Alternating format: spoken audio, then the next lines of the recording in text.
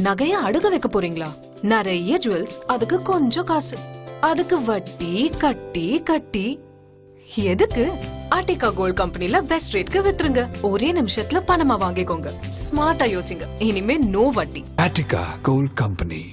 Call triple eight zero three hundred three hundred Angayarkanni நேற்று இரவு கிருஷ்ணகிரி மாவட்டம் ஓசூர் பகுதிகள் முழுவதும் கனமழையானது கொட்டி தீர்த்தது. குறைந்தது ஐந்து மணி நேரத்திற்கு மேலாக இந்த பகுதிகளில் கனமழை கொட்டி தீர்த்தது. இதனால் ஓசூர் அருகே அருகே உள்ள கேசிசி நகர் பகுதி முழுவதும் தற்பொழுது வெள்ளக்காடாக காட்சியளிக்கிறது.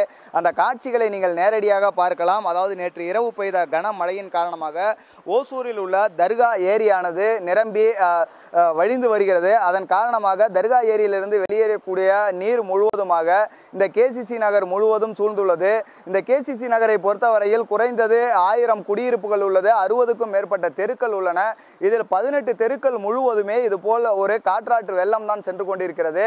இந்த வெள்ளத்தின் காரணமாக இந்த குடியிருப்புகளில் உள்ள பொதுமக்கள் யாருமே வந்து வீட்டை விட்டு வெளியில் வர முடியாத ஒரு கடுமையான சூழலுக்கு ஆளாகியுள்ளார்கள். அது மட்டும் இல்லாமல் வீடுகளில் நிறுத்தி வைக்கப்பட்ட இருசக்கர வாகனங்கள் வீடுகளுக்கு வெளியில் இருந்த கார்கள் அனைத்தும் தண்ணீரில் மூழ்கியுள்ளது. மேலும் இந்த கனமழையின் காரணமாகவும் இந்த காற்றாற்று வெள்ளத்தால் மழைநீர் முழுவதும் வீடுகளுக்குள் புகுந்து வீட்டில் உள்ள பொருட்கள் அனைத்தும் முழுமையாக சேதமடைந்துள்ளது. நீங்கள் நேரடியாகவே பார்க்கலாம். இந்த கேசிசி நகர் பகுதியில் உள்ள குடியிருப்பில் அங்குள்ள வீடுகளுக்குள் மழைநீரானது முற்றிலுமாக புகுந்து அங்குள்ள பொருட்கள் முழுவதும் சேதமாகியுள்ளது. குறிப்பாக அங்கு இருக்கக்கூடிய ஆவணங்கள் மழை மழைநீரில் நனைந்துள்ளது. மேலும் அங்குள்ள ஃப்ரிட்ஜ் முழுவதும் மழைநீரில் நனைந்து சேதமடைந்துள்ளது. இந்த பகுதி மக்கள் தற்பொழுது வீடுகளுக்குள் தண்ணீர் சூழ்ந்தாலும் வீட்டை விட்டு வெளியில் எங்கும் செல்ல முடியாத ஒரு நிலையில் தான் இருக்கிறார்கள். காரணம் இந்த தெருக்களில் செல்லக்கூடிய நீரானது காற்றாற்று வெள்ளம் போல் சென்று கொண்டிருக்கிறது. இதில் மக்கள் செல்லும் பொழுது கண்டிப்பாக நீரில் அடித்து செல்லக்கூடிய மிகப்பெரிய அபாயம் உள்ளதால் எந்த அந்த மக்கள் யாரும் வந்து வீட்டை விட்டு வெளியில் வராமல் இருக்கிறார்கள். அதாவது மாடி அதாவது மொட்டை மாடி இரண்டு அடுக்கு மாடிகள் இருக்கக்கூடியவர்கள் மேல் தளத்தில் தங்கியுள்ளார்கள்.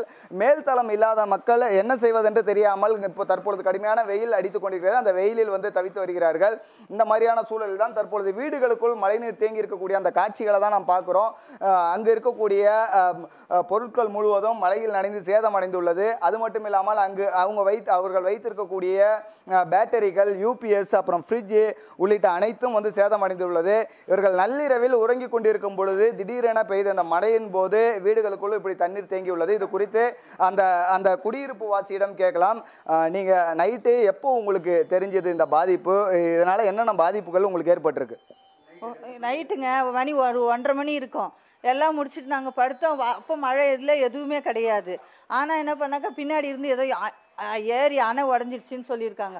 ஆனால் நாங்கள் மேலே மாடியில் ரூம் இருந்ததால் எல்லாம் மேலே போயிட்டோம். ஃபுல்லாக தண்ணியெல்லாம் அடித்து பாத்ரூம் வழியாகவும் பெரிய கேட்டு வழியாகவும் உள்ளே வந்துருச்சு. இது என்னென்னா வெளியே வா வா தண்ணி போகிற வாய்க்கால் கரெக்டாக இருந்தால் யார் வீட்டுக்குள்ளேயும் வராது. எங்களுக்கு பாருங்கள் TV loss UPS loss fridge பாருங்கள் எங்கள் ஃப்ரிட்ஜ் எப்படி இருக்குது பாருங்கள் அந்த ஃப்ரிட்ஜு ஃப்ரிட்ஜ் எல்லாம் போச்சு. எல்லாமே போச்சு. அதுக்கப்புறம் எங்களால் மேலே மூன்றரை மணிலேருந்து தண்ணியை தள்ளுற வேலை தான் ஆகுது. அதுக்கேற்ற மாதிரி எல்லாரும் வராங்க பார்க்குறாங்க இது கண்டினியூவாக ஒரு தொடர்ந்து நடந்துகிட்டே தான் இருக்குது எங்களுக்கு. இதுக்கு இதுக்கு ஏதாவது ப பண்ணுங்க. நீங்கள் அவ்வளோதான் நம்ம சொல்கிறது எதுவுமே எங்களுக்கு இல்லை. எல்லாமே பாருங்கள் எங்களுடைய எல்லா திங்ஸும் மளிகை பொருள் எல்லாமே எங்களுக்கு எவ்வளவோ லாஸ் இப்போ. டுவெண்ட்டி லைஃப் லேக்ஸ் லாஸ் எங்களுக்கு இப்போ எல்லாமே லாஸ். மேலே வந்து எங்களுடைய சர்டிஃபிகேட்டு எங்கள் பிள்ளைங்க ரெண்டு பேருமே இன்ஜினியரிங் எல்லா சர்டிஃபிகேட்டும் போச்சு. ஆ, எங்களுக்கு நிம்ம எல்லாம் வெளியே எங்களுக்கு இருபது லட்ச ரூபாய் கார் போச்சு. அதுக்கு தண்ணி நேராக போனாக்கா எங்கள் வீட்டுக்குள்ளே வர சான்ஸ் இல்லை. சரிங்களா? எங்களுக்கு அந்த இது நாங்கள் சரி ஒன்றரை மணிக்கு தூங்கணும். அது எங்கள் தப்பாக இருந்தால் கூட தண்ணி நேராக போனால் எங்களுக்கு பிரச்சனையே இல்லை. இது ஓன் வீடாக இருந்து எங்களுக்கு யூஸும் இல்லை. இதுக்கு யார் அதிகாரி பொறுப்பா? கவுன்சிலர் பொறுப்பா? இல்லை எங்கள் பொறுப்பா? இதுக்கு ஏதாவது ஒன்று பண்ணுங்க. இது தொடர்ந்து நடந்துகிட்டே இருக்கு. இதை மூணு பேர்ல யார் பொறுப்பா அதாவது அஹ், நிச்சயமா நீங்க நேரடியாவே அவங்களுடைய வேதனையை பதிவு செய்ததை நீங்க நேரடியாவே பார்த்திருப்பீங்க. எவ்வளவு பொருட்கள் சேதமடைந்திருக்குது எவ்வளவு இழப்பை சந்தித்திருக்கிறார்கள் என்ற அவர்கள் வேதனையை பதிவு செய்திருக்கிறார்கள். மீண்டும் ஒரு மழையில் இது போன்ற சேதம் ஏற்படக்கூடாது. அதற்கான ஒரு தீர்வை அரசு ஏற்படுத்தி தர வேண்டும் என்பது இந்த பகுதி மக்களுடைய கோரிக்கையாக உள்ளது.